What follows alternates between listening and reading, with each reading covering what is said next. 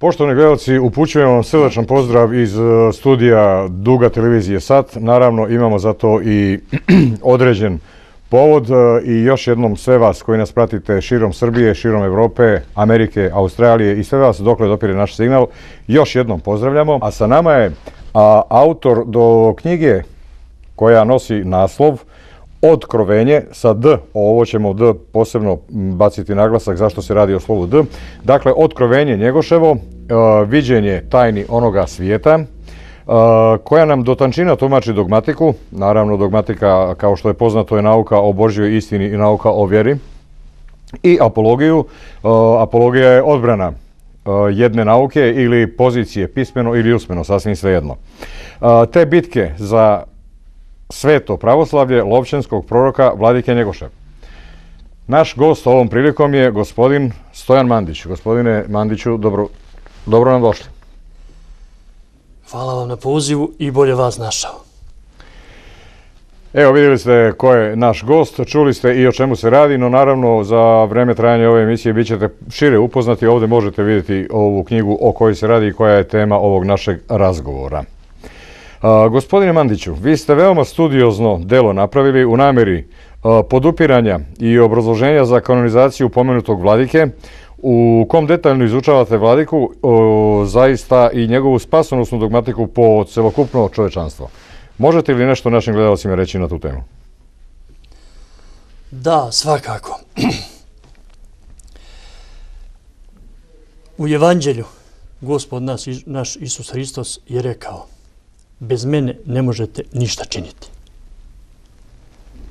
Šta znače ove riječi?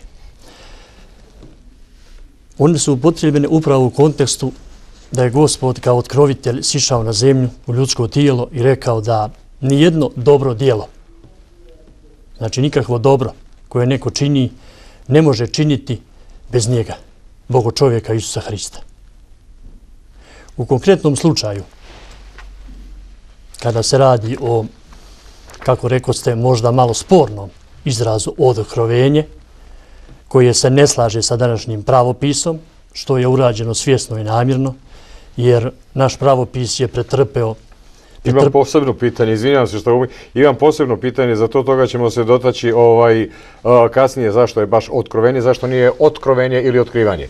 A to posebno pitanje imamo u vezi toga, ali evo u svakom slučaju kad ste već krenuli, to ćemo pitanje kasnije onda derobirati, pa izvolite obrazložiti u ovom, ovom prilikom. Važi, to ćemo pitanje kasnije studije za obrazložiti, a, sada ćemo da počnemo od glave, a to znači od same, samoga naslova koji se odnosi na na vladiku Njegoša, koji je iz e, kuće Petrovića, nasljednik svetog Petra Cetinskog, to je Petra, istorijski Petra I. Petrovića također sa e, nadimkom Njegoš. A zbog kratkoće vremena, a da budemo precizni, moramo krenuti odakle je došlo do ove pojave. A to je na jednom skupu glavara, tačnije 1785. godine. Tadašnji Petar I.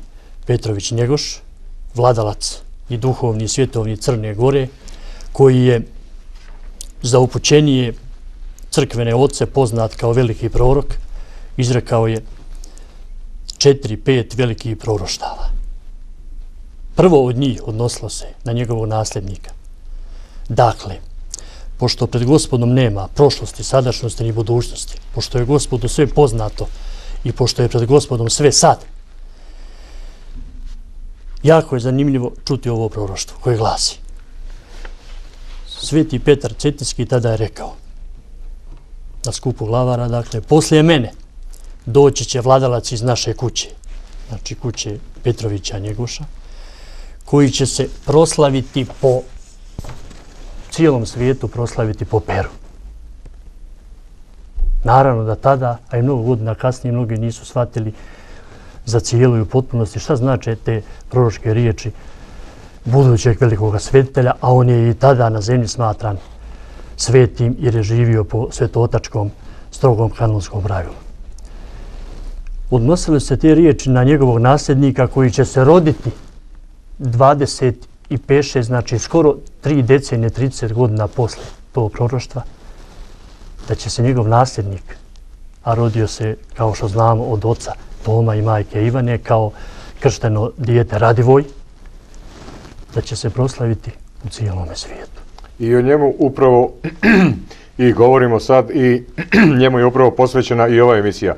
Moram da vas pitam, upotrebili ste jednu reč, rekli ste e, proročstvo, ako se ne varam. Ili proročanstvo, to je isto. E, ovaj, upravo sam to htio da vas pitam, mm -hmm. da li postoji neka razlika između proročstva i proročanstva? Ne, to je stvar samo termina i, stvar termina. jezičkog područja i govora, znači isto, je, to su sinonimi. E sad kad smo kod uh, načina govora, uh, gde ste vi rođeni, gospodin Mandić? Ja sam rođen u jednom mjestu koje ima divno ime Gvozno, ispod same planine Bosanske Treskavice, nedaleko od Kalinovika, znači nedaleko od Sarajeva. Dobro. Iz Kalonika, u vašem e, govoru, e, može se i moglo bi se zaključiti iz on, načina na koji vi govorite da ovaj u vašem u, u vašim korenima ili u vašem životu negdje da se krije Crna Gora, e, naglasak i dijalekt vam vuče malo na crnogorski, pa je interesantno možda i našim gledalcima, a i meni je lično interesantno, otkud to, ako ste poreklom iz Bosne, kao što ste rekli, otkud taj crnogorski naglasak, ili ako mogu da kažem dijalekt, naglasak kod vas? Prvo, ja jesam poreklom Srbini Crne Gore. Po predanju naše su prije 200 i nešto godina došli iz e, Crne Gore u Bosnu, u to malenu, malenu Vararsu Kalinovik i čini mi se po mojim saznanjima i do duše e, tankim istraživanjima, ali možda i pouzdanim, da su moji mandići baš negde ispod planine Svete Ostroga i znajući po, da je krsna slava, glavno odredište ovaj familija i prezimena, sa krsnom slavom svetog oca Dimitrija, o kome ćemo u buduće jako puno govoriti, jer njegov upliv i doprinos sa zajedno sa svetim Vaslijom, svetim Petrom Cetinskim i mnogim svet, svetiteljima, svetim Stefanom Piperskim, jeste e, doprinio ovome događaju, događanju i ovome dijelu, to jeste, evo da kažem, da ste vi ponešto već dotakli u vezi sa kanonizacijom Njegoša, to jeste otkrovenje svetosti vladike Lovčanskog Njegoša. Hvala vam gospodine Mandiću. Još jedno pitanje vezano za vas pre nego što pređemo na ovu glavnu temu. Naravno da je interesantna i tema, interesantna i knjiga, ali i vi kao autor.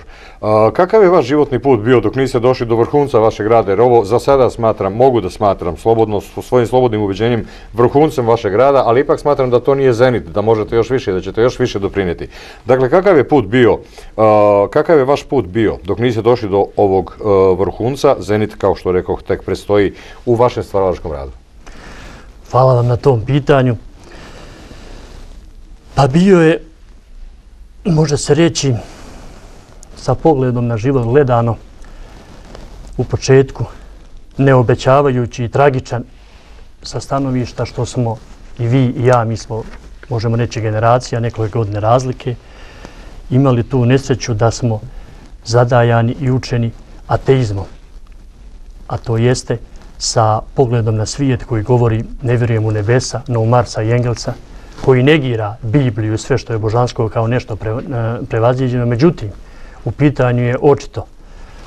Ne sa jednog stanovišta i jednog izvorišta potvrde, nego sa brojnih drugih, upravo smijem da kažem prst Božiji koji je jednog ateistu, koji je možda nekolike decenije, tri, četiri decenije života bio više u potpunosti ili više u ateističkom uveđenju i sviješću, onda je gospod svojim domostrojem spasenja okrenuo moj život i moju svijest i moje izučavanje sa događanjima koja ćemo, ako Bog da u buduće čuti, okrenuo potpunosti u pravoslavlje.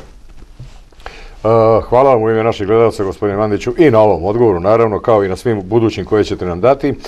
Sljedeće pitanje što bih ja želeo da vas pitam, kako ste došli na ideju da uradite ovo delo vezano za Vladiku Njegoša, koje će verovatno doprineti, ne verovatno, nego sigurno doprinijeti da se, ako ništa drugo, bar ubrza kanonizacija uh, Vladike Njegoša i ovaj, kako ste dakle došli na tu ideju i da malo pojasnite na, našim gledalcima sam taj pojam, sam taj izraz kanonizacija. Pretpostavljam da mnogi znaju, ali pretpostavljam da ima i onih koji, kojima je nejasno to značenje. Pa da ovaj pojasnite u stvari šta je to kanonizacija i šta je to vas ponukalo da napravite ovakvo jedno delo? Da idemo redom. Izvolite. Prvo vaše pitanje zaslužuje sljedeći odgovor. Da budemo kratki, a jasni i interesantni. Kada se iz onoga višnjega svijeta po prvi put kao svetitelj javio sveti ostroški vasilije, slavu i milost, to je gledalo ovako. Proigumanu Župskog manastira, ocu Rafailu Kosijerevcu, javio se sveti Vasilije na snu i rekao mu da dođe u Ostrog da otvori otkopa njegov grob. Iako je sam bio svešteno lice, pravoslavac, monah dakle, on nažalost nije pridavao veliki značaj tim riječima, tom snoviđenju. Da bi se to ponovilo drugi put, opet on i oni kojima je kazao nisu to ozbiljno shvatili, ali gospodnja se ne da zataškati. Treći put kada se on javio, to nije bilo samo javljanje u snu, nego javljanje sa dokazima. Koji su to bili dokazi? Sanjao je svetog Vasilja da kadi služe liturgiju i da ga je u tom u toj službi svetoj, liturgijskoj, liturgijskoj kadionicom, odnosno žarom iz kadionice poprskao po licu. Kada se probudio, kada je došao pred bratiju, imali što da vide. Imao je grdne rane po licu. Od straha više niko nije sumnjao, nego se ozbiljili i krenuli su da poste i da otkopaju svetog Vasilja i najviše su ga cijelog netljenog svete mošte njegove kakve danas stoje, znači sedam godina posle njegovog upokojenja. Drugi, još kraći slučaj iznijeću, kada se sveti Petar Cetinski, četiri godine samo nakon svog upokojenja, bio je sahranjen na ulazu u manastir Cetinski, koji je podigao Ivan Crnojević, a njegov nasljednik je ovaj vladika Njegoš o kojem zborimo i koji jeste naša glavna tema i bit će ako Bog da u buduće još više i češće. I riječi koje svjedoče taj događaj eh, vladike Njegoša glase. Moj upokojeni stric često mi se javlja u snu i kaže da ga izvadim iz groba jer nisam ja zaslužio da narod čeplje po meni. To je stari izraz crnogorski, srpski crnogorski, koji znači da čepa, da gazi, gazi po, da, po grobu njegovom. On se kaže, izvinjavam sam, on se kaže često, često javljao tako meni na snu, pošto je vladika, njegož bio vladika, nije imao velikih problema da to saopšti glavarima na skupu i da kaže tako i tako, braćo, ja moram da vam iznesem, to se događa meni često. Oni kažu, pa gospodaru, da kopamo grob, da vidimo možda nešto ima. Kad su otvorili, naši su netljene mošti svetog Petra Cetinskoga, onako u svojoj, svojoj veličini kako ih sahrani kao da je juče. I odmah ubrzo, njegoš kao vladika, na slupu sveštenstva i glavara, obznanili su, proglasili svetost novojavljenog svetitelja tada i kanonizovali ga. I još samo kratko. Samo izvolite. A kada se i kako? Javio sveti njegoš. Kao svetitelj nakon dileme i tolikih tolikih nebuloza koje su pričane o njemu, koji se i dan danas mogu naći na internetu i koje nisu demantovane kao što je teško ono perje iz jastuka vratiti, odraza su te informacije, tako i dan danas postoje nebuloze, onda je to izgledalo ovako. Kao što vidite, i evo o tome da nas pričamo. Jest. Ovo je dokument i dokaz koji će u vijekove i u vijeki vjekov svjedočiti o svetosti novojavljenog svetitelja Lovčanskoga, Cjetinskoga i ako Bog da, ubrzo, pokon njegovoj kanonizaciji, kada započnu na Lovčanskim visovima, kod Cjetinskih svetinja i kod i u rodnim njegušima novojavljenog svetitelja, onda ćemo, i ovim putem pozivamo, sve one Srbe koji su bili ožalošćeni sa raznoraznim nebulozama o vladici Njegošu i o njegovom životu, a sve su to bile džavolje, nagovori i laži. Nećemo ih sada imenovati, nemamo vremena, ali su imenovani i studiozno obrađene u ovoj, u ovoj knjizi. onda ćemo sve Srbe koje pozivamo da nam pomognu i sve ljude dobre volje nagraditi time u vječnosti, ne mi, nego gospod Bog svojim dijelima, da će im svojim uzdarim gospodu zrati i njihov doprinos i pomoć u raznim vidima koji to, koje, kako ko učini, ćemo obilodaniti tada kada dođe vrijeme za to. Nadam se uskoro i ubrzo. E, hvala vam lepo. Samo još drugi deo pitanja. O, zamolio sam vas, ako bi bili ljubazni da objasnite našim gledalcima taj pojam kanonizacija. Mada je, kao što rekoh, mnogima poznat, ali pretpostavljam da postoje i oni kojima je taj izraz nepoznat. Tako je, to je drugi dio vašeg pitanja, odnosno drugo pitanje koje je bilo spojeno u jedno. Ja sam malo opšinil govorio na prvo podpitanje, odnosno prvu polovinu pitanja, a na ovu drugu ćemo jako kratko. Kanonizacija znači crkveno, zvanično priznanje zemaljskih vlasti, u na, ja pričam samo o našoj crkvi, u našoj, Absolutno. u našoj pravoslavnoj crkvi, e, nekoga ko se iz višnjega svijeta, gospodom, sa e, nesumnjivim dokazima pojavio i projavio kao svetitelj, jer naša crkva e, se nikad ne zalijeće i neće na prvi primjer i na prvu sumnju ili nedovoljnu informaciju izvršiti kanonizaciju, neko što je jako dobro, ali nije dobro ako se crkveni oci, crkvene vlasti ogluše od tolike dokaze o, o zasluzi i o potrebi kanonizacije na zemlji vladike Njegoša. A uspud da kažem, kanonizacija od strane crkvenih vlasti ne znači posvećivanje. To znači samo priznavanje onoga što je gospod već nekoga E, učinio svetim, to znači da je dužna crkva da to prizna kad se steknu dovoljni dokazi i projave, ili je to osnoviđenje, ili čudesa, kao što se i ponovo nedavno sveti Vaslij Ostroški javio a, uživo na liturgiji, čućete kome ima to kao potenja vijest u knjizi i tako dalje. Znači, e, na zemlji crkva naša samo priznaje svetost dokazanog svetitelja iz višnjega svijeta koji se ili samoštima ili snoviđenjem ili raznim čudesima, isceljenjem na grobu, što će biti posebno riječi i događanja, potvrdi i dokaže da je svetitelj, to znači kanonizacija jeste priznavanje svetosti nekoga koga je gospod napravio svet. Ako sam vas dobro razumeo, neko ko je kanonizovan, proglašen je svecem, je tako? Proglašen na zemlji zvanično na svecem, zemlji. posle što ga je nebo priznalo i proglasilo svet. Apsolutno. Hvala vam na ovom opštinom objašnjenju. Evo, dragi gledalci, vi koji niste znali, sada znate, a evi koji ste znali, sada pretpostavljam da vam je jasnije šta ovo znači. Gospodine Mandiću, kakav je doprinos ove vaše knjige Kanonizacije Njegoša i da li ste, i ako jeste, o, čiju pomoć ste imali, naravno ako jeste, u stvaranju ovog kapitalnog dela? Posebno opet hvala na ovom pitanju.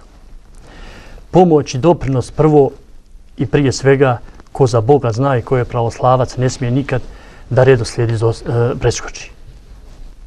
Prva pomoć i najveća pomoć jeste prz Boži. Bez gospoda, bez e, njegovog blagoslava i njegovog rukovodstva, mi smo nedostojni da imamo direktan kontakt sa njim, ali obično kroz svetitelje i kroz razna događanja, mi imamo znak sa neba iz višnjega svijeta, da se radi o nečem ozbiljnom što se ne smije ignorisati, što se ne smije zapostaviti. Ukratko, u ovoj prvoj emisiji, pošto je to jako opština tema i o tom je svjedoči ova knjiga, Gospod je kroz svetoga Vasilija, mogu reći pod tim redom, pa kroz svetog oca Dimitrija, koji je moja hrstna slava, kroz svetog Stefana Piperskog, pomenutog već ranije od malo prije svetog Petra Cetničkoga, od svetitelja, znači od kanonizovanih svetitelja, velikih, sve su to veliki oci eh, pravoslavne, Srpske pravoslavne crkve, je na nebrojeno primjera i dokaza projavio svetost Vladike Njegoša, a od živih na zemlji, premda je ovo izraz relativan i treba ga, sa, eh, jako, treba ga malo obrazložiti, kad kažemo živi na zemlji, misli se na one od nas koji su u ljudskom tijelu i odaju, međutim, pogrešno je zvati nas živima, svetitelje mrtvima. Jer ako iko živ, to je prvo gospod, tako se u Bibliji kaže i glasi česta, često ponavljena riječ biblijska, tako živ gospod. Prvi koji je živ koji je izvor života bespočetni jeste gospod, a drugi koji su vječno živi jesu svjetitelji. Odakle, tako kažemo, uslovno živi na zemlji, prva zasluga i rukovodstvo i blagoslovlje pripada Arhimandritu, Arhimandritu, ocu Jojlu visoko prepodobno duhovniku srpskom koji je opet Božim promislom bio devetogodišnji čuvar kivota Svetog Ostroškog Vasilija, koji je posle toga već deset godina formirao, možemo slobodno reći, Srpsku svetu goru na Srpskoj Bilasici. On je moj duhovni otac, da i to otkrijem za gledalište. Po čijim, bez čijeg rukovodstva, pomoći i blagoslovlja, ja ne bih možda ni znao šta treba činiti. Njegova jedna od brojnih zapovijesti glasila je, evo i to da otkrijemo za početak samo, Stojane, objavi i obznani da se javio Sveti Njegoš. E, ja bih vas zamolio ovdje da napravimo kratku pauzicu. Ovaj, upravo sljedeće pitanje koje sam želeo da vam postavim odnosi se na arhimandrita oca Joila. Naime, ovo delo, delo koje ste vi napravili, bilo je u rukama mnogih velikih ljudi u pravoslavnom miljeu, kao što su Arhimandrit Otac Joil, čuvar života Svetog Vasilija Ostrovskog, kao što ste i sami malo pre rekli, zatim u rukama protojera Beogradskog dvostrukog doktora Novaka, doktora Žarka Gavrilovića, pa je sa tim delom upoznat i Vladika Lavrentije, tu je i otac Ljubomir Ranković, protođakon Šapca, doktor nauka gospodin Radivoj Doder i mnoge druge umne Rado je doder. Rado je. Izvinjavam se i vama i gledalcima i gospodinu od čije sam se ime ogrešio. Dakle, pored svih ovih umnih glava koje su upoznate sa vašem delom, ono što je interesantno, kako je reagovao na vaše delo upravo Arhimandrit Joel? Da, to je veličanstveno i to je zanimljivo i to će ako Bog da uđe u istoriju pravoslavlja. Kada je prvo moje dijelo koje se pojavilo kao zahtjev za kanonizaciju vladike Njegoša pod imenom, pod naslovom Duhovne oči vladike Njegoša, koji ima pod naslov zahtjev za kanonizaciju. Da se nadam da može kamera da zoomira. Ako ne, nije važno, dovoljno sam rekao. Otac Joil je već ranije bio, rekao, upoznat i radovao se i željno iščekivao tu, tu knjigu kada sam došao negde u Svetom Vasiliju u Ostroškom 2007. E, godine, gospodnje, u manastir Čilovac. Maj bješe divno vrijeme, izvršili smo promociju ove knjige. Otac je nestrpljiv odmah s noga, pitao me, Stojane, izađe li ona knjiga? Pošto se nismo par mjeseci čuli, ja sam radio na izdavanju knjige. Kažem, izađe, oče, izađe, izvadim knjigu, Zvršili smo tu promociju, da skratim. Otac je uzeo knjigu. Nosao je oko crkve, oko manastira svijetog Čirila i Metodija u Čirilovcu i milovao sliku Vladičansku, ljubio desnicu Njegoševu i od sve radosti ponavljao a što mi je fina ova slika. Poći ću na Cetinje, veli otac Jojl, da dam Vladiki da kažem evo Vladiko, zahtjev za kanonizaciju Njegoša i više puta je otac Jojl ponavljao te riječi radosti. Zašto? Zato što je, kasnije će mi to i otvorno priznata, ja sam to nazreo, prozreo i znao, otac Jojl bio žalošćen što toliki jedan dogmata, toliki jedan svetitelj, toliko crkveno pravoslavno svjetilo i učitelj stoji nekanonizovan grijehom nas, njegovih nedostojnih potomaka, a otac Joil i prije mene znao za svetost vladike Njegoša, da mi posle i otkrio kako se meni otkrivalo u mom životu, tako mi on potvrdio i otkrio za Njegoševe mošti, za Njegoševu svetu descu koja se četvrte godine vidjela i projavila na Cetinju prije prenosa Njegoševi mošti u Nalovčan. Ali tom prilikom otac Joil je vama nešto rekao, možda vi to iz skromnosti mhm. ne želite da mhm. kažete, ali ipak recite to našim gledalcima. Upravo za zasluge za ovu knjigu otac e, Joil vam je nešto rekao šta bi trebalo da se desi nakon ovog vašeg rada. Ili ima toga više, ili mislite na... Mislim da... Na, da se podnese zahtjev za... Za doktorsku za disertaciju i u tom smislu nešto mislim. To, to je rekao ne povodom ove prve knjige, ove, ove, nego povodom ove knjige koju sada Absolutno. obznanjujemo, promovišemo. Pred svijetom, e, kad sam se pojavio, on je zimus uz e, časni veliki vaskršnji post kao prvo pozvani i prvo prozvani i prvo zaslužni recenzent, prije svega bih naglasio duhovni recenzent, a i svakoliki, i svekoliki drugi, ove knjige, čim sam došao u manastir Čirilovac, pred narodom, obznanio i rekao, podhitno moramo podnijeti zahtjev, citiram njega, jer Absolutno. ja nije moje da to ja pričam, ali ako je to neko drugi rekao, mogu da ponovim, hvala Bogu, da se dodijeli počasna titula doktora teoloških nauka sa svim pripadajućim zvanjima i tako dalje, jer to je upravo doktorska disertacija i ne jedna, nego množina disertacija, da bi poslije njegovu tu potvrdu kao drugo pozvani i prozvani recenzent, kao doktor teoloških nauka, dvostruki doktor inače, doktor Žarko Gavrilović, sa svojom recenzijom koja je, hvala Bogu, ušla u tu u ovu knjigu, imaće gledalci priliku da je čitaoci priliku da je pročitaju, a mi ćemo u narednim emisijama pomalo da je citiramo jer je jako zaslužna i ima ogromni doprinos. Jer bez dobrih recenzenata ni jedno dijelo ne može ni da se pročuje i da se obznani u svijetu kao validno i kao vrijedno. Da li će to doživeti svoje ostvarenje, to što je predložio otac Jojlo? Što se lično tiče mene, otkriću vam nešto.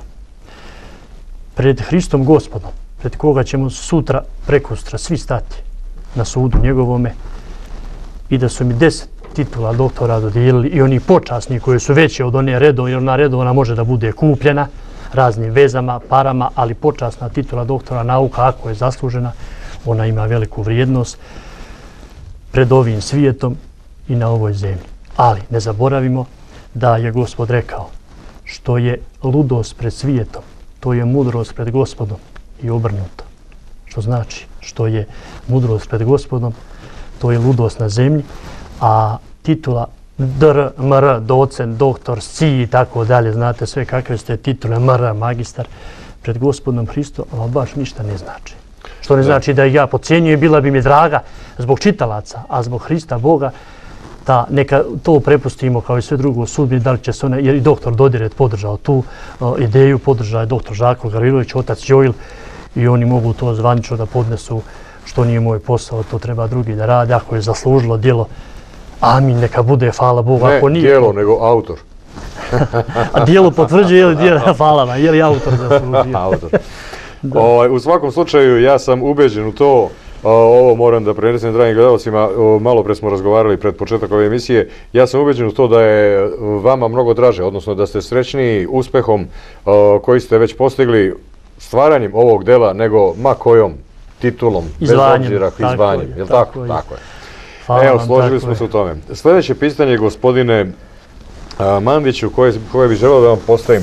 Na jednom mjestu ovdje negde, čitajući ove, ovu mhm. knjigu ili neki materijal koji sam imao pred ovu emisiju, na jednom mjestu naišao sam gde kažete kriza čovečanstva stigla je do zastrašujućeg stanja, što je krajnji alarm za krajnju uzbunu. Ili u protivnom sve će otići džavoljim tragom, kada je pošlo još u praiskonu od e, grehova Luciferova i Adamova. Inače, za pojašnjenje onima koji ne znaju, Lucifer je bio prvi anđeo koga je Bog stvorio po sobstvenom liku, pa se ono što bi se reklo odmetno u hajduke. Tako je. A u prevodu znači lučonoša.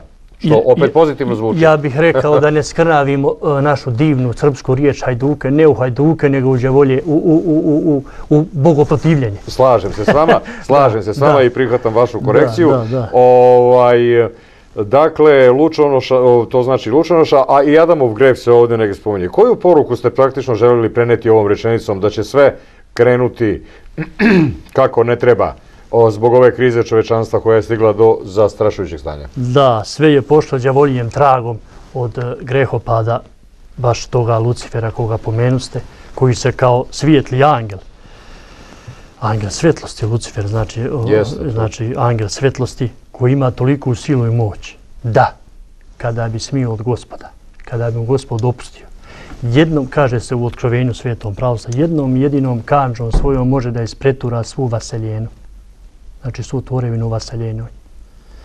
Šta to znači? Nemamo vremena to da elaboriramo u knjizi, je to elaborirano jer je, jer je njegošu kao visoko prepodobnom ugodniku Božijem dato otkrovenje nad otkrovenjima i on je u svojoj studiji, za koju mnogi, nažalost, profesori koji su nas učili u srednjim školama nisu znali ništa da kažu, sem da kažu ima tamo neki filozofsko-religijski spjev koji se zove Luča mikrokozma.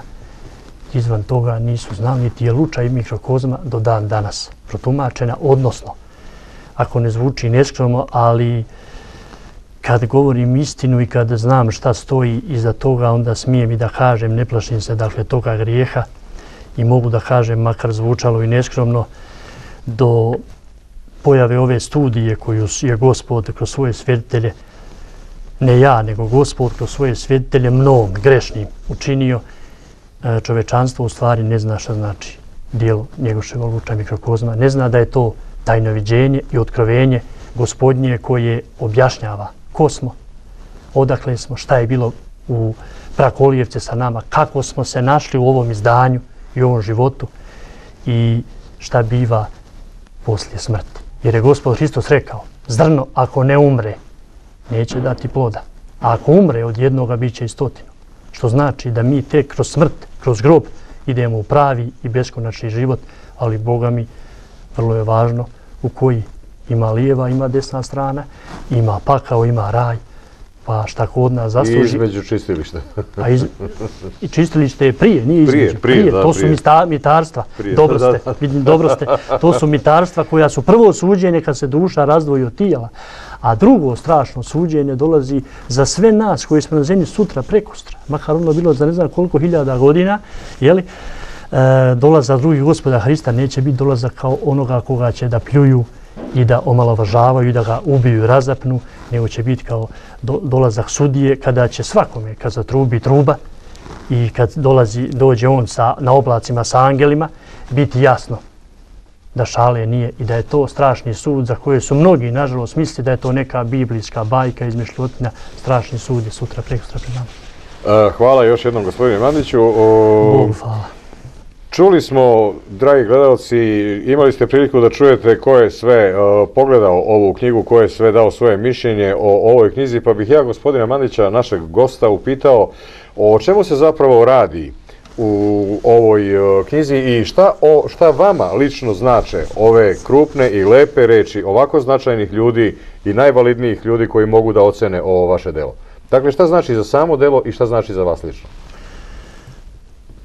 Za samo dijelo znači potvrda da se ne radi što je najvažnije ni o kakvom sektašenju i ni od kakvoj nadri vjeri, nadri religiji, niti o nekom novom vidu filozofije, nego da se radi o onoj bitki koja je jedina prava i validna, jer sve su bitke završene davno, glas jedan divni stih, samo bitka za sve to trajaće do drugog dolaska Hristovoga i to znači da je dijelo po Boži, e, Bogu ugodno i da je po Božijem promislu, a ne po mojoj nekoj samovolji i zaluđenosti.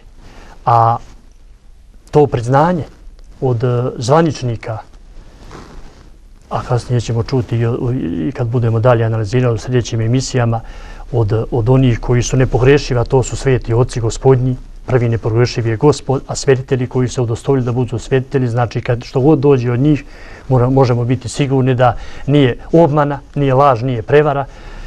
To znači da, eto, gospod, pomenu ste malo preba, pa mislim da smo ostali dužni odgovora za krizu čovečanstva. Ova kriza, da pokušam biti kratak, a jasan, jeste kriza morala. Sveti vladika Nikola je naš zlatovsti, koji je naš i evangelist, jer je napisao srpsko evangelje, to, je, to, je, to nisam potvrdio ja, nego je to su riječi svetog Ave Justina Ćelijskog, koji je bio njegovi savremnik i učitelj, je rekao da u osnovi svih grijehova, sve bolesti, svih postrnuća ljudskih leži moralno postrnuće. Sve visi o moralu.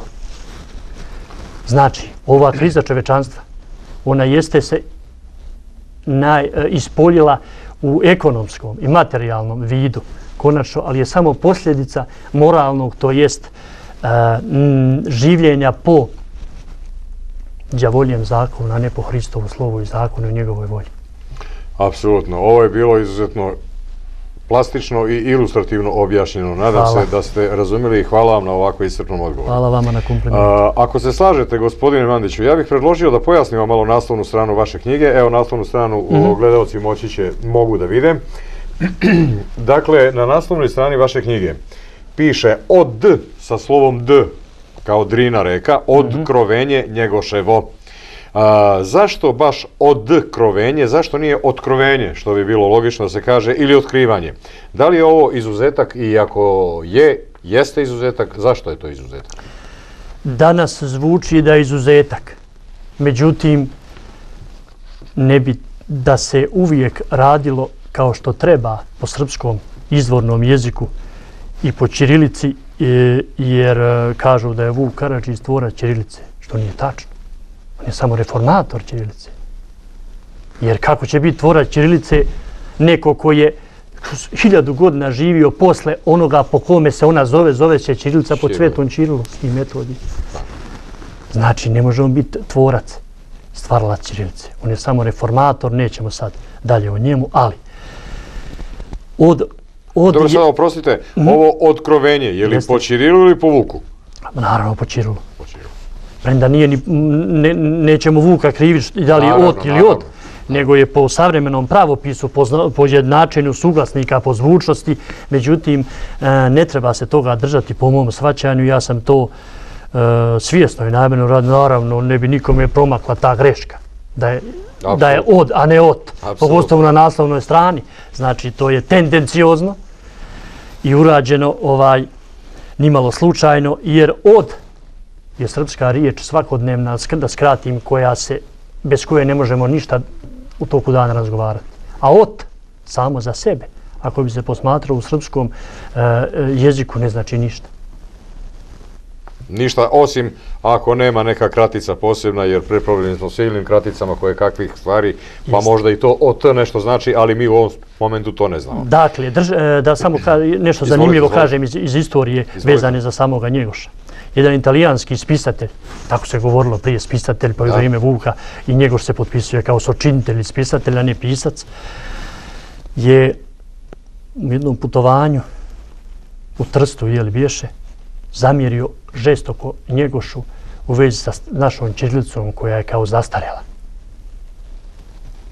Sveti vladika, ja sam ovlašten, razovem sveti, nadam se da mi neće oće zamjeriti kad nisu ovi zvaničnici, a prije svega kao podnosta zahtjeva za kanonizaciju Njegoša ima, da kažem to pravo da ga zovem svetim ocem koji će biti kanonizovan ako Bog da, ga je oštro upozorio riječima – na njegovu primjer da je Čirilica zastala, rekao mi je jezik, pisac italijanski baš tako i navodi.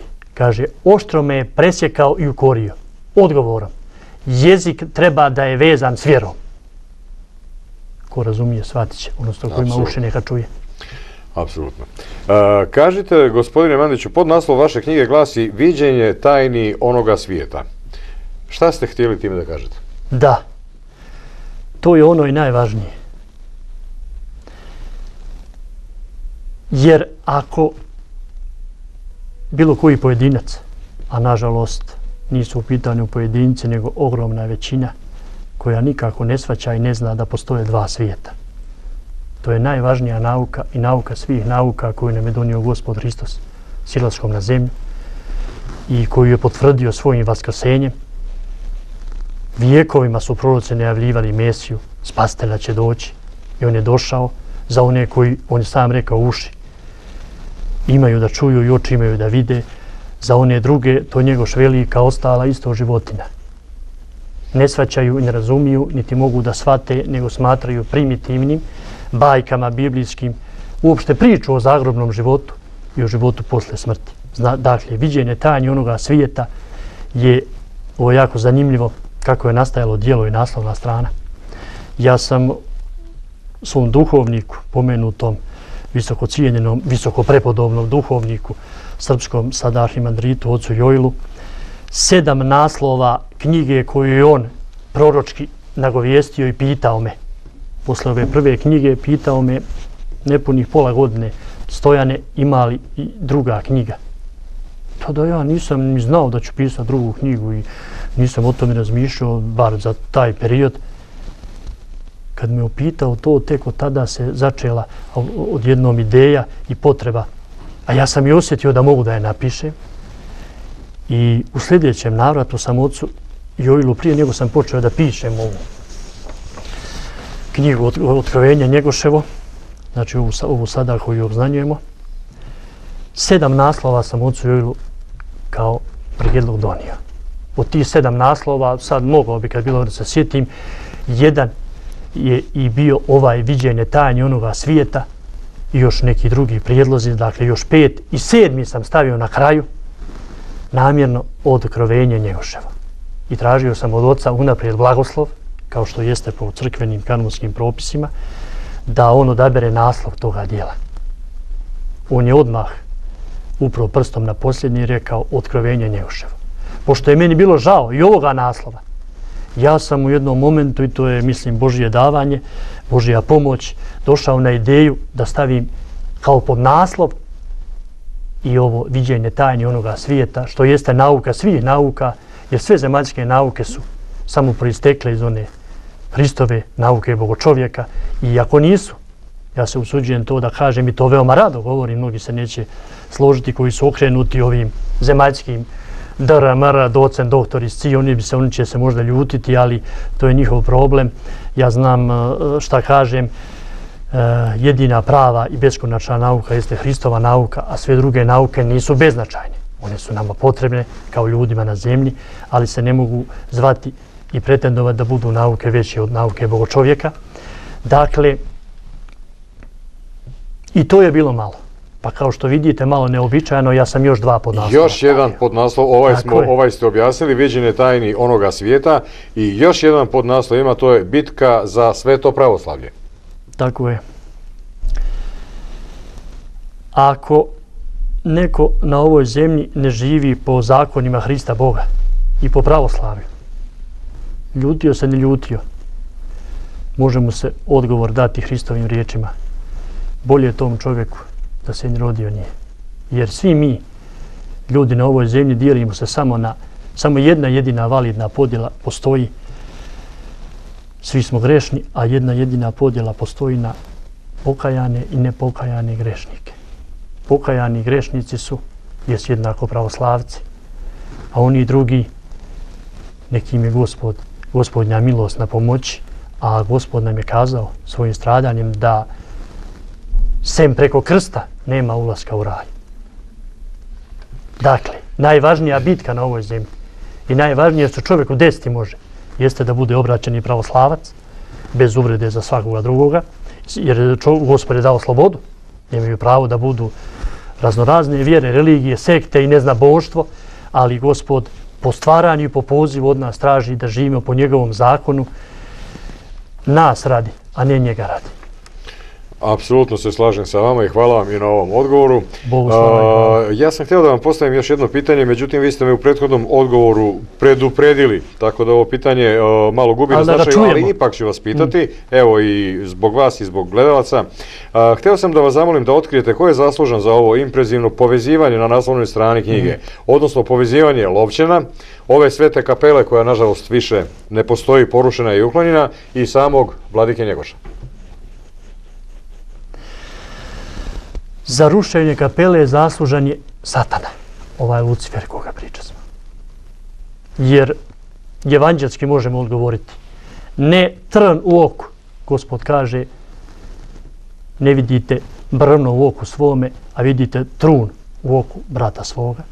Ne trun i ne trn u oku, nego pogolemo brvno satani i svim demonskim izvršiteljima jeste bila sveta kapela posvećena svetom Petru Cetinskome o strane svetog vladike Njegoša na, onim, na onom lovčarskom visu koji je nažalost podrezan za 17 ili 16 metara. Da li je to mjesto gdje se sada nalazimo u Zoli? Ne. To mjesto gdje se sad nalazimo u Zoli je 16 metara ispod toga, znači to mjesto je u zraku. Razum, mislim da ste razumijeli. Absolutno. Mislim da sam jasan. Znači, podrezati lovčan za 16-17 metara, to vam znači kao e, jednu visinu jednog dobrog nebodera od 5-6 e, solitera od 5-6 e, spratova. za toliku visinu podrezati vrh Lovčanski. To je želja Lucifera Satane, a želja nas, njegovih protivnika i Hrista Boga, svetog Petra Cetinskoga koji tuguje i suze lije za svojom kapelom, Njegoša koji još više tuguje za svojom zadužbinom i čije, čija želja je oskrnavljena time što ne počiva gore gdje je on potonju želju iznio i pred samu svoju smrt, to je su pokojenje i preseljenje. Gospodu, bio jako žalošćen kad su mu iz njegove familije rekli da ga neće e, nositi na lovčan, da ga sahrane i gospod je dao da se nije upokojio, da se nije preselio njemu i predstavio dok nisu obećali da ipak hoće poslu, e, sudbinu znamo. E, 100 godina, oko 100 godina i više je ta kapela tu bila bez obzira što je bila oštećena u, u Prvom svjetskom ratu od neprijatelja. Ona je obnovljena i tada je Njegoš trebao biti kanonizovan jer je sam očigledno bio vladika Nikolaj iz Zlatovu za sto, za to, a on sam nije mogao kanonizovati njegov što se to e, na saboru crkvenom po pravilima kanonskim ovaj e, vrši glasanje. E, dakle, zaslužni za ovu, možemo slobodno reći, impresivnu i umjetničku e, sliku, dočaravanje te tri velike svetinje, vrha Lovčanskog, svete kapele i njegoša, jako je zanimljivo, jesu, opet moram da kažem, Božja pomoć. Pred samo štampanje knjige dobio sam, zahvaljujući, evo otkriću to, doktoru Žarku Gavriloviću, protojereju, jednu sliku na jednoj knjizi ove kapele u boji. Ovu njegošu vladičansku sliku već imamo od ranije, to je ova sa ove knjige. Dizajner Milan Damljanović iz Beograda, moram da kažem moja supruga, dakle otac Žarko i na kraju pominjem sebe, smo zajednički to odradili više nego što su mogli poželjeti da se ovako ja verujem, ja verujem da će vam mnogi biti zahvalni za ovo što ste uradili. A, nažalost, i vremena stereo da završavamo ovu emisiju. Pa ću za kraj da vam postavim još jedno pitanje. Kojim povodom, kada i kako, ako je to moguće u ovom momentu, je počelo da se rađa nešto i počelo da se rađa nešto što je preraslo u ovako veliko kapitalno a, delo koje naravno ima veliki a, značaj po oceni zvaničnika, i to validnih zvaničnika, dakle ima veliki značaj za pravoslavni svet, ne samo za pravoslavni svet, već za celokupno čovječanstvo.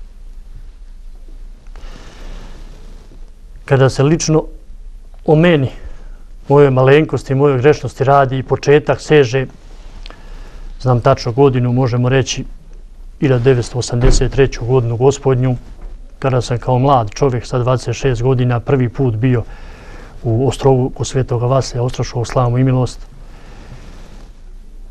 Potpuno nesvjesan tada, kao ateistički školovan, ali gospod i gospodnja milost su beskonačni i vodili su me rukovodili posle Svetog Vasilja i konaka u, u, u Ostrogu na Lovćen.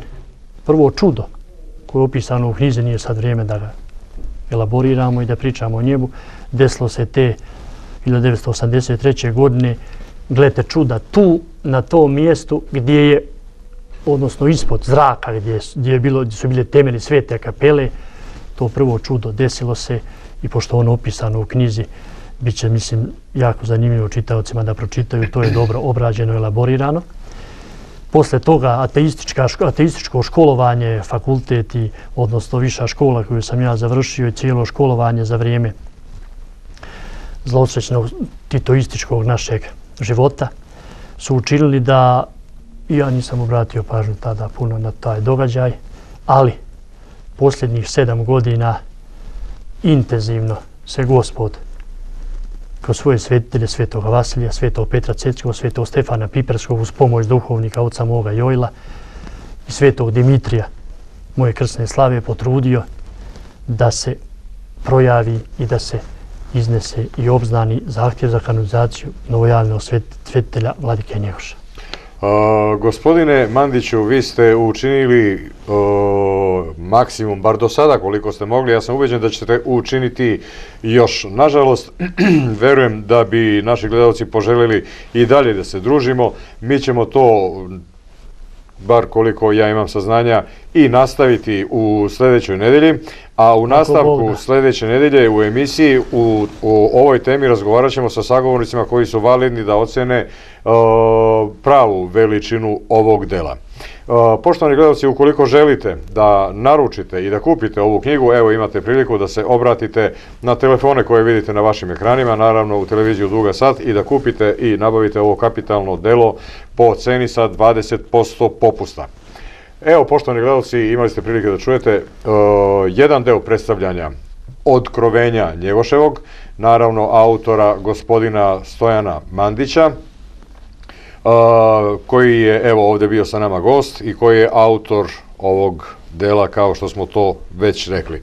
Uh, sa nama je bio gospodin Stojan Mandić, vama se zahvaljujem na pažnji, želim vam da provedete ugodan ostatak dana, ma koje doba dana bilo, jer neko nas gleda po danu ako je ovdje u Evropi, neko nas gleda po noći ako je u Americi. Dakle, bilo koje doba dana daje, ovaj, želimo vam da, da ga provedete prijatno. Hvala vam na pažnji i budite uz vašu duga sat televiziju. Prijatno.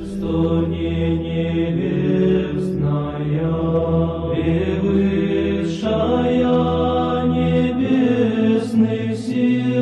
не